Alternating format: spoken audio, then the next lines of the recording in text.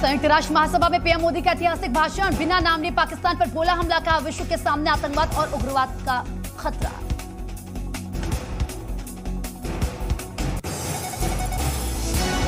PM Modi का पाक पर करारा वार कहा जो आतंकवाद का टूल के तौर पर इस्तेमाल कर रहे हैं उनको भी खतरा। यूएन महासभा में पीएम मोदी ने आतंकवाद पर दुनिया को किया अलर्ट कहा हर हाल में रोकना ही होगा आतंकवाद। अफ़गानिस्तान के मुद्दे पर पीएम मोदी के बोल हमलों के लिए ना हो अफ़गानिस्तान की धरती का इस्तेमाल। पीएम मोदी ने अफ़गानिस्तान के लोगों की मदद की अपील की कहा अफ़गानिस्तान में महिलाओं और बच्चों को मदद की ज़रूरत अल्पसंख्यकों की भी करनी होगी रक्षा। यूएन की भूमिका पर पीएम मोदी का निशाना कहा आज यूएन के तौर तरीकों पर उठ रहे हैं सवाल संयुक्त राष्ट्र को खुद को सुधारना होगा। पीएम मोदी ने चीन के विस्तारवाद पर भी साधा निशाना कहा दुनिया को विस्तारवाद के खिलाफ उठानी होगी आवाज़ बढ़ रहा है कट्टरपंथ का खतरा। संयुक्त राष्ट्र महासभा में पीएम मोदी ने कोरोना से मरने वालों को दी श्रद्धांजलि कहा डेढ़ साल से दुनिया कोरोना महामारी से पीड़ित। संयुक्त राष्ट्र महासभा में पीएम मोदी का बड़ा बयान मैं ऐसे देश का प्रतिनिधित्व करता हूँ जो लोकतंत्र की जननी है भारतीय लोकतंत्र की परंपरा हज़ारों साल पुरानी। पीएम मोदी ने कहा भारत ने दुनिया की पहली डीएनडी वैक्सीन बनाई हमने फिर से शुरू किया वैक्सीन का निर्यात। संयुक्त राष्ट्र महासभा के मंच पर पहुँचने से पहले पीएम मोदी ने मंचासीन अधिकारियों को झुककर किया अभिवादन विश्व मंच से गूंजा भारत का संदेश। पीएम मोदी का चार दिवसीय अमेरिकी दौरा खत्म स्वदेश वापसी के लिए भरी उड़ान। पीएम मोदी न्यूयॉर्क के जॉन एफ़ कैनेडी अंतर्राष्ट्रीय हवाई अड्डे से दिल्ली के लिए रवाना हुए। आज सुबह साढ़े ग्यारह बजे भारत पहुँचेंगे पीएम मोदी। पीएम मोदी को अमेरिका में गिफ्ट के रूप में मिली एक कलाकृति और मूर्तियाँ। चोरी या तस्करी के रूप में भारत से अमेरिका गई थी कलाकृतियाँ और मूर्तियाँ। स्पेशल 157 के साथ देश रवाना हुए पीएम मोदी। पीएम मोदी को मिले उपहार में ज़्यादातर 11वीं से 14वीं शताब्दी की ऐतिहासिक कलाकृतियाँ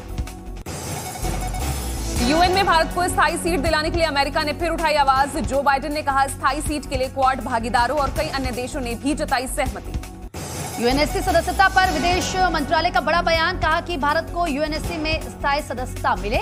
बाइडेन भी चाहते हैं कि भारत को स्थायी सीट मिले।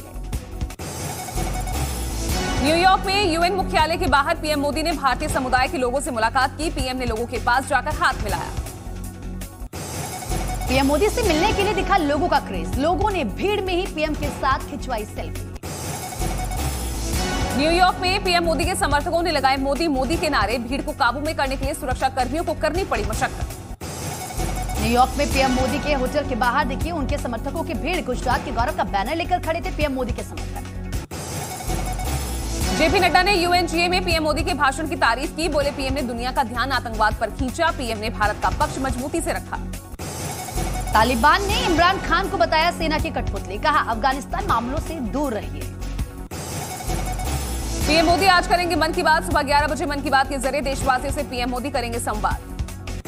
अमित शाह की अध्यक्षता में नक्सलवाद पर आज बैठक। नक्सल प्रभावित राज्यों के मुख्यमंत्रियों के साथ मीटिंग।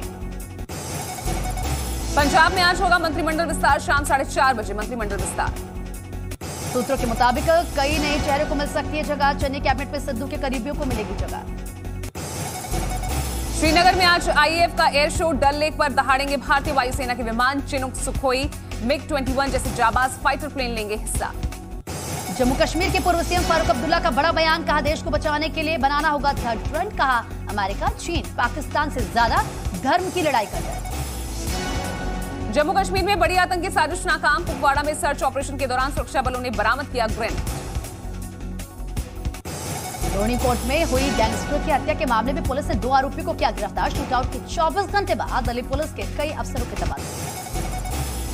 महंत नरेंद्र की मौत के मामले में आज मट जा सकती है। फोरेंसिक टीम महंत नरेंद्र के पार्थिव शरीर की हो सकती है। दोबारा जाँच शरीर को समाधि से निकालने के लिए कोर्ट जा सकती है सीबीआई। महंत नरेंद्र की मौत मिस्ट्री की जाँच हुई तेज। आज नैनी जेल भी जा सकती है सीबीआई की महंत नरेंद्र गिरी की मौत मामले में अहम दिन आज जेल में बंद। आनंद गिरी आद्य प्रसाद तिवारी और संदीप तिवारी से पूछताछ। राजस्थान के बैग ने नरेंद्र गिरी की मौत में जोड़ा नया एंगल। घटनास्थल पर मिला अलवर की मिठाई शॉप का बैग। कई सवालों की होगी पड़ताल। जल्द होगा अखाड़ा परिषद के नए अध्यक्ष का चुनाव। महंत नरेंद्र की मौत के बाद चुने जाएँगे नए अध्यक्ष। सभी संतों की सहमति से होगा नए अध्यक्ष का चुनाव। प्रयागराज में महंत बलवीर गिरी से सीबीआई टीम ने की पूछताछ। लगभग एक घंटे तक चली पूछताछ। सूत्रों के मुताबिक सीबीआई ने ली घटनाक्रम के बारे में जानकारी। लखनऊ में आज बीजेपी किसान मोर्चा का भव्य सम्मेलन। सूत्रों के मुताबिक गन्ना मूल्यों को बढ़ाने का किया जा सकता है ऐलान। सम्मेलन में शामिल होंगे सीएम योगी। यूपी के प्रतापगढ़ में मारपीट मामले में कार्यवाही कांग्रेस नेता प्रमोद तिवारी और विधायक आराधना मिश्रा समेत कई पर केस 27 नामजद और 50 अज्ञात पर एफआईआर।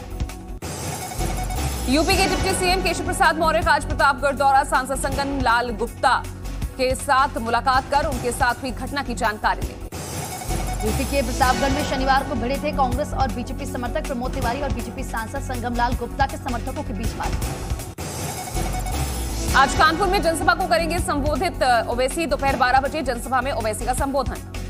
यूपी के रायबरेली में ओवैसी के स्वागत में पाकिस्तान जिंदाबाद के लगे नारे ओवैसी की मौजूदगी में समर्थकों ने लगाए नारे। यूपी के प्रयागराज में ओवैसी का बीजेपी पर हमला कहा मुस्लिमों पर हमला कर डरा रही बीजेपी मुझे वोट कटवा कहने वाले कर रहे हैं सियासी खेल। ओवैसी ने कहा कि जिस समाज का नेता होता है उसी समाज की सुनी जाती है। सभी ने अपने अपने समाज का नेता चुन रखा है लेकिन यूपी में मुस्लिमों का कोई नेता नहीं है। यूपी के प्रयागराज में ओवैसी का हल्ला बोल कहा ना मोदी ना योगी से डरना है ना अखिलेश और ना ही कांग्रेस से डरना है यही पैगाम मैं देने आया तालिबानी फरमान का अरशद मदनी ने किया समर्थन। अरशद मदनी ने लड़का लड़की के साथ में ना पढ़ने के तालिबानी फरमान का क्या समर्थन। यूपी के बाराबंकी में बेखौफ बदमाश दबंगों ने साधुओं पर लाठी डंडों से किया हमला दबंग खुलेआम लहरा रहे हथियार। दबंगों की मारपीट में पुजारी समेत तीन साधु गंभीर रूप से हुए घायल। घायलों को जिला अस्पताल में भर्ती कराया गया। जातीय जनगणना को लेकर बिहार एनडीए में रार, बीजेपी बता रही नुकसान तो जेडीयू बता रही फ़ायदे, हम और वीआईपी जेडीयू के साथ।